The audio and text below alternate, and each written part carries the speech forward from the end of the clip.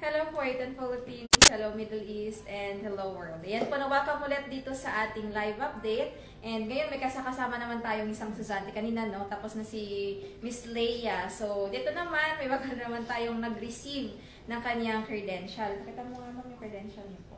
Ayan, ayan na. Yung pinaghirapan ng isa sa mga Suzante natin. Dito sa diploma, kung nakikita nyo na nakatoga siya. So, pwede ka bang magpakilala sa ating mga manonood, ma'am? Ako po si Lorna Lina Forte. Mm-mm. Nakasakasama mo kasi hindi sila nakatinig. Pag medyo, medyo maano, mahihain kasi si Ma'am Lorna Lim. Nakasan niyo po, ma'am? Ako po si Lorna Lina Forte, 28 years old. Ayan. Si Miss Lorna Lin, isa sa mga estudyante natin dito sa UK Diploma in Health and Social Care. So, Ma'am Lorna Lin, kasi ano no, um, no, mga mga manonood natin, nag-wonder yan sila, um, paano mo nahanap itong ICSA? Sa Facebook lang po. Ayun. Kasi yun naman ang pastime natin na Oo. mag-scroll-scroll ng Scroll, newsfeed. Ayun. Before ah, pandemic, Mhm. nagplano na po ako magpa-enroll. Kaso Mm. po, hindi po siya fit sa schedule. Schedule mo. Mhm. So, nung nag-pandemic po na Mm. nag-online, Mhm. doon na po ako nagpa-enroll. Parang naging ano din siya, no? Naging yung pandemic is parang Oo. naging good ano din siya, effect din siya kasi nga na-brought yung ating um, courses sa online Oo. which is lalo na sa mga estudyante natin tulad mo is masyadong busy. Wala nang oras para magbiyahe, maggaya, pupunta ng school. Tsaka hindi po kasi, ano, every week yung day off. Mm yun din. Mm-mm. So, lalo na yan sa mga kababayan natin na walang masyadong off din. No? So, mag parang magandang, ano siya, um, epekto rin yung Oo. pagkakaroon ng online class. You know? So, um, Ma'am Lornalyn, paano ka nakapag-decide na mag-enroll dito sa ating ano um, health and social care?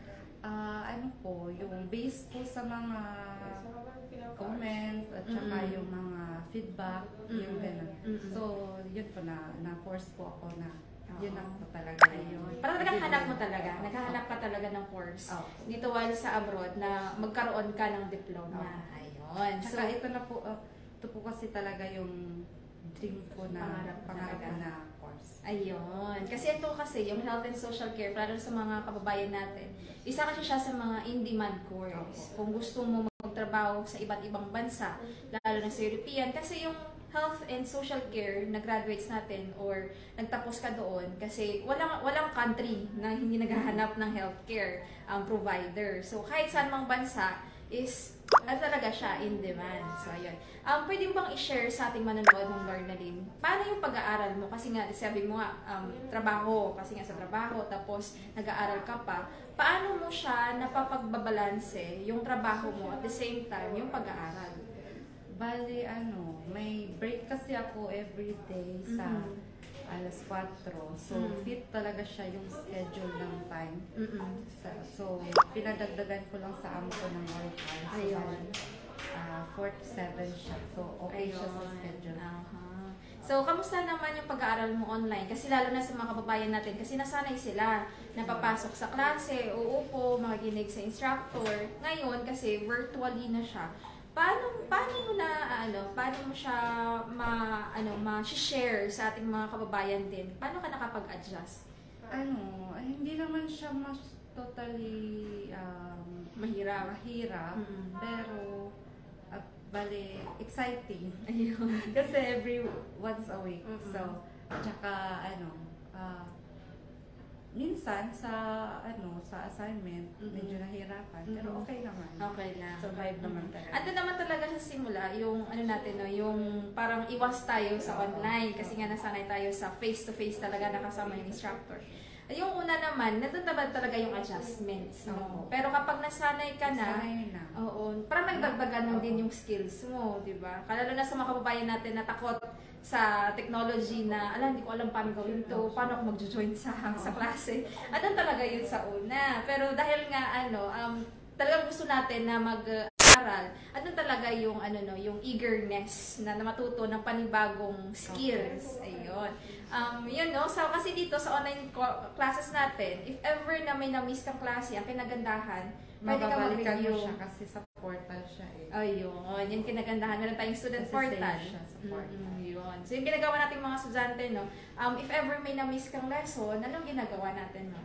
Ah, binabalikan lang po sa portal yung sa Mm-mm. mga ah, live, Mm-mm. tapos yung mga sinisave ng instructor. Instructor. So, yun po. Hindi po siya masyadong mahirap. Oo.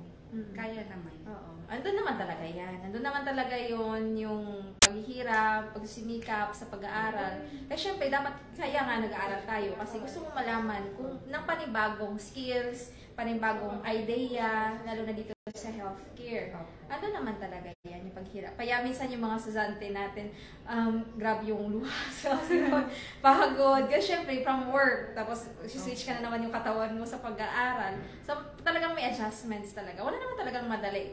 Ano talaga yun? Fake news yun pag sabihin, ay, madali-madali lang. Wala naman talagang madali. Kailangan talaga ng adjustments at talaga eagerness sa pag-aaral. At saka yung buo talaga yung loob mo na gusto mong tuparin itong pangarap mo. Ayan. So, yan, baka yung instructor mo. Sino ang instructor mo, Ma'am Lornaline? First si Miss Nicole, Mm. and then second si Miss Paula. Si Miss Paula. Yan, nakikinig sila, no? Baka meron kang Ay, mensahe.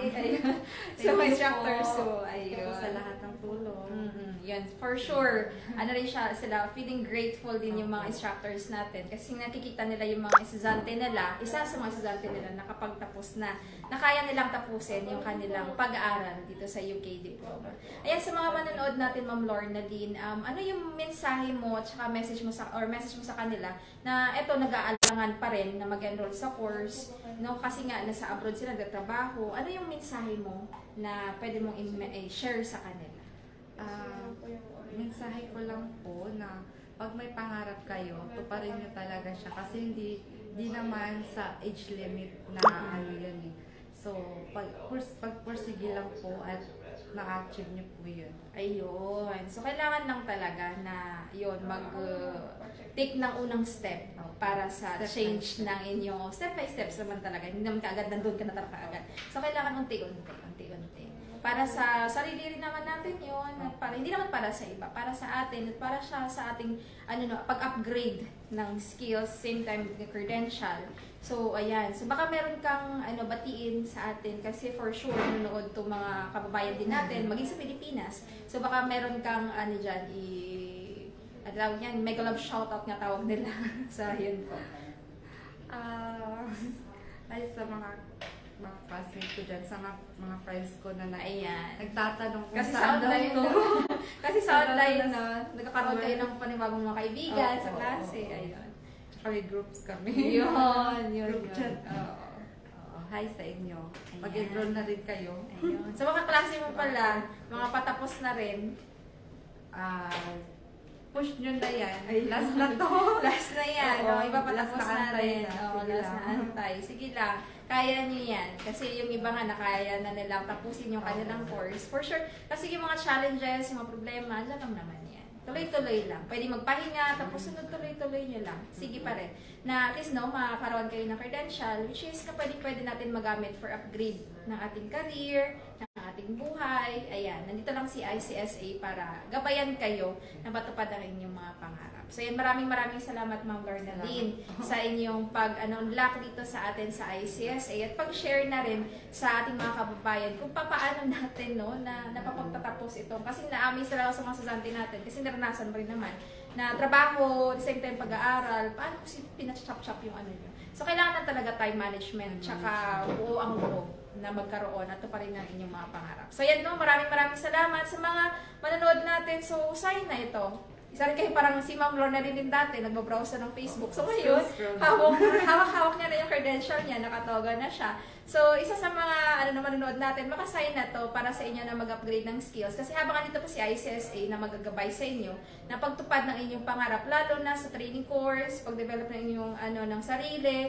pag-gain ng panibagong credential, at diploma, which is pwedeng pwede natin magamit for career um, development. So, ayan, maraming maraming salamat. Or tawag kayo dito sa atin sa WhatsApp number natin or comment kayo dito sa comment box below para ka namin ano, no, matulungan dito sa pagkakaroon ng inyong international diploma. So, yan muli kasama ninyo, Miss Lynn at si Miss Lorna Lynn. Magkatunog pa yung pangalan. So, dito nagsasabing ICSA, your partner in success. So, maraming salamat and see you next time sa ating live update.